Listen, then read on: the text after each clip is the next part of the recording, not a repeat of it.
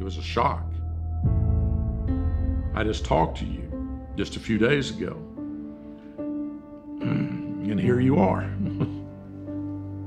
Ah.